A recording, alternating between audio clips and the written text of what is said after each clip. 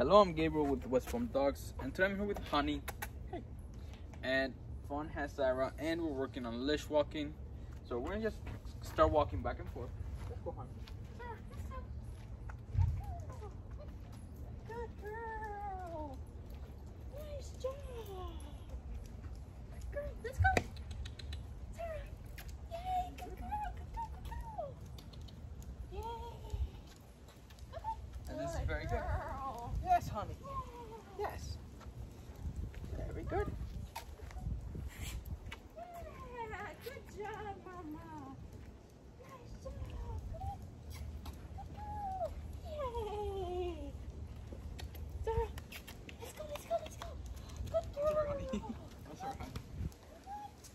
Yay! Job!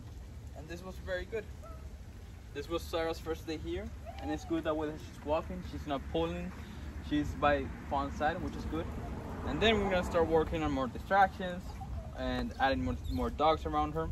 And Honey did very good. She wasn't pulling, she was aware of where I was going. So both of them did very good. Nice job, guys.